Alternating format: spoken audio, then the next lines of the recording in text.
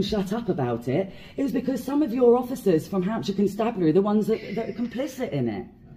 So because That's- hang on a minute, I've got the you- videos on here. That's the way I've got the I've got the believed. Then I videos. suggest you go to the complaints No. I'm not complaining. I'm reporting crimes. I've got the videos on said to you. here where s- PC CAF. Sorry? You're fully aware of what police complaints department said to you, how to contact the police.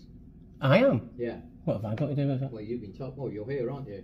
So, what's that got to do with you anything? brought the lady in. What's that got to do with anything? Well, well, it's got a lot to do with. I would Has say. it? Yeah. You've got a real bad attitude, Exactly. mister. You've got a real Disgusting. bad Peter attitude. McGinley. I have.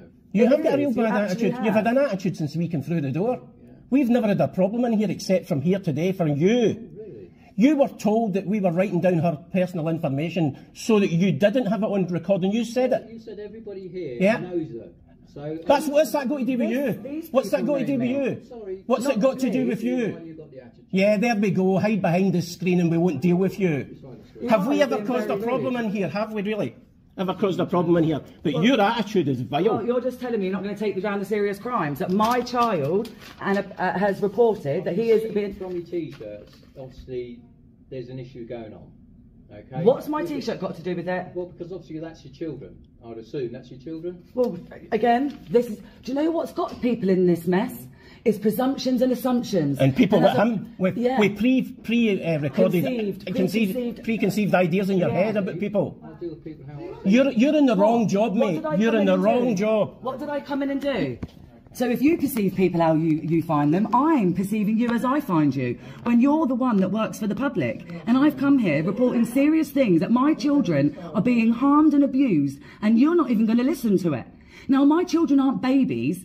So if you actually spoke to them, they would they would tell you themselves they're 12 and 13. You're reading nonsense. That's the whole point. And that is what I keep getting. I phone 101. You read a load of nonsense lies that have been put there by the officers that stole my children in the first place.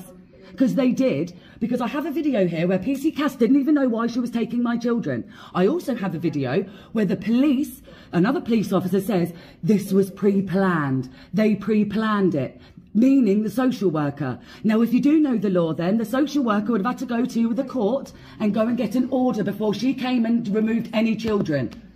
So she didn't. So that's a crime in itself. So why are you not taking it? He's not taking it because he's got an attitude. He's got a chip the size of the bloody Rock of Gibraltar on his shoulder. Mm. No, no. What's me being here got anything to do with you? Biggest chip going. No, what's what's me being here got anything to do with you? Nothing. So keep your opinions to yourself and do your job. Mm. You're not here to make opinions. You're here to take statements. So take them. No. You're not going to get any joy from me. Well, we, we knew that at the start. I could have told you that before we even came in.